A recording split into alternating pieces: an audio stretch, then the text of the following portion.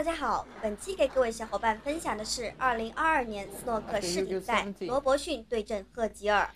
在第十三局最后时刻，罗伯逊被超九分，需要两杆斯诺克，而罗伯逊因此磨了足足十分钟。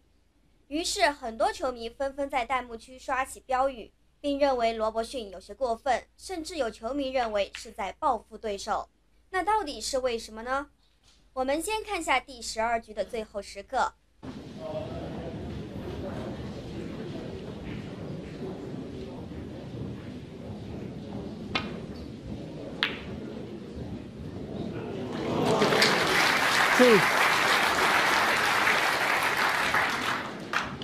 罗伯逊翻进黄球，刚好超了十分。如果对手想要逆转的话，那么需要三杆斯诺克。此时赫吉尔自然是还要抢救下，毕竟落后的局数太多，而且罗伯逊已经是准赛点。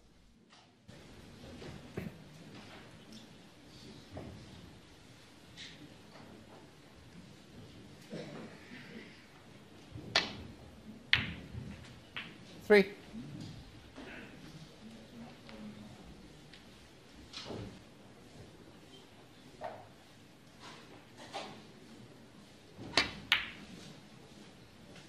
Thank you. Seven. 因为刚好是超十分，所以赫吉尔就算用篮球来做，两杆斯诺克后也是连分，要么做三杆，要么两杆抢黑球。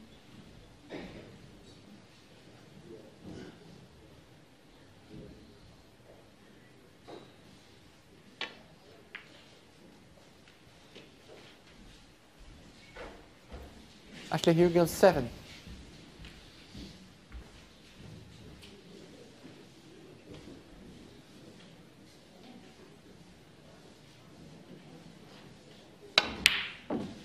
Five. 逊则是毫不犹豫，手起刀落，飙进远台，直接断了赫吉尔的念头。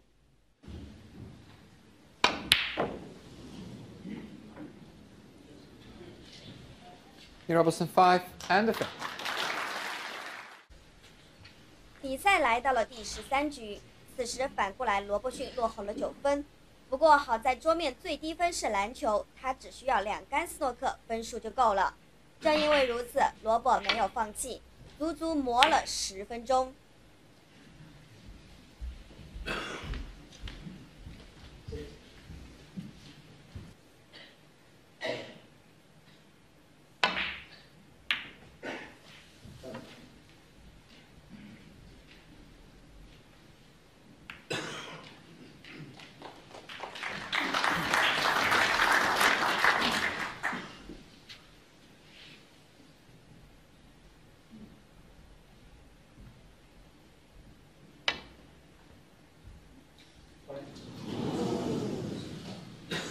Foul.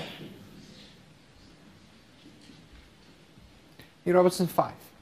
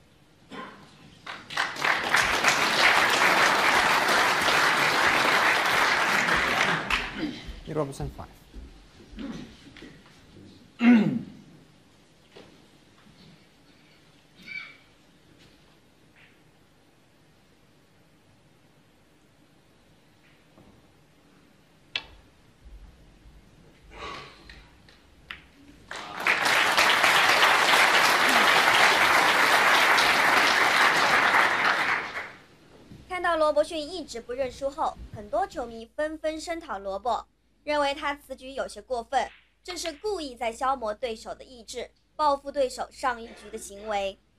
其实这在冯凤看来完全属于正常。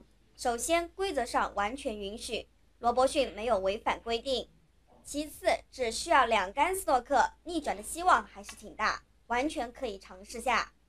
第三，作为职业球员，到了赛场上，自然是一切为了胜利。不想打胜仗的，那能叫好士兵吗？之所以罗伯逊被部分球迷声讨，不过是因为刚好他已经拿到赛点，并且领先的局分很多，所以大家才掉头支持赫吉尔。